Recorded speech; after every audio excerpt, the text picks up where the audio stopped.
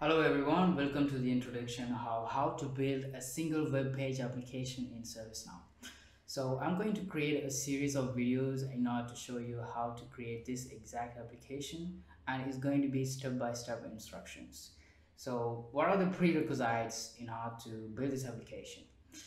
Um, you need to be familiar with the platform itself, so you need to know the fundamentals, the key features that we have. For example, uh, what is a flow designer, what is a UI script, and UI page. This kind of information you need to be familiar. You don't need to be an expert, but you need to know what this thing can do for uh, in ServiceNow, and also uh, have a good good understanding of programming language such as JavaScript or AngularJS. Um, I would like to emphasize that you don't need to be an expert. You need to just have the basic understanding, just to know what what different things can do in the platform. So let me demonstrate you what this application can do. It's very simple. It's it's very similar that you have in a um, similar application that you have in your mobile phone. I mean, not the look, but when you enter, for example, you look for weather information for a city. I'm to type here Mumbai, and I'm going to click on search, and you can see here I want to get the result for Mumbai. So I have the uh, the temperature in Fahrenheit, what kind of day that I have there, and uh, the country and also the time zone. So I can research for any city.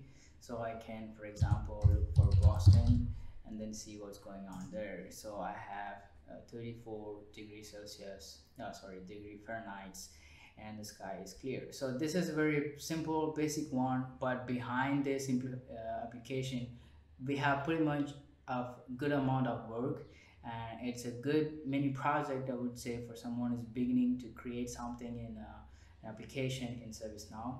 So we're gonna cover pretty much uh, how to create an action in Flow Designer, how to create a script include, writing a UI script, creating a UI page, using AngularJS in order to bind data in between UI script and UI page.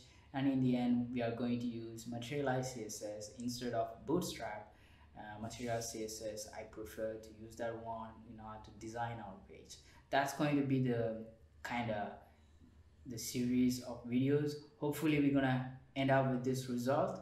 And again you don't need to be an expert. All you need to do is to have the fundamentals of javascript angularjs materialize css and good, good to know the platform ServiceNow itself, a different aspects of ServiceNow the videos will be made each time on each topic i will be spending some time to explain you uh, what is going on there right? So you, can be a beginner and follow this uh, entire series of tutorials videos and in the end uh, probably you can replicate everything that i'm doing and end up with this result and you can start to create your own application just to have the understanding how we can create application what are the different things that we are using.